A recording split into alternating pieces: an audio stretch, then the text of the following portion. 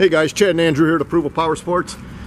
We're uh, doing some videos on our used bikes and we just got this one in. It's a pretty cool bike. It's a 2000 VMAX 1200 for sale, $4,500. These things are hard to find.